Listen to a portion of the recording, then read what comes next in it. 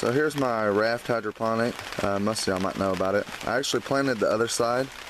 Um, what I did since it's getting sunny, I flipped it over to the white side instead of the shiny side. I put the shiny side down in the winter so it gets more sun because we're light on sun in this area right where this is positioned. But today, yeah, we're gonna harvest one of these um, semi heads of lettuce. It's been a little over 30 days, so we're gonna get to eating them. So I'm pretty sure they're not gonna get much bigger. They did real, real good. You can see the, the root systems are amazing on it. And they stayed real clean, good root system.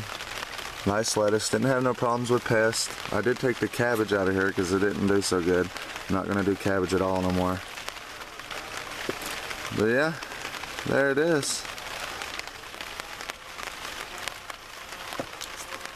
Nice little, yeah, there's two of them in there.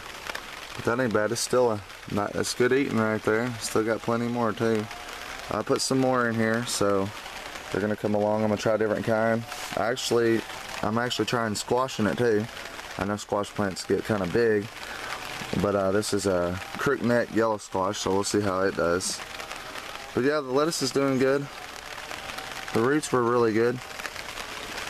So yeah, let's take a look underneath. Nice white clean roots.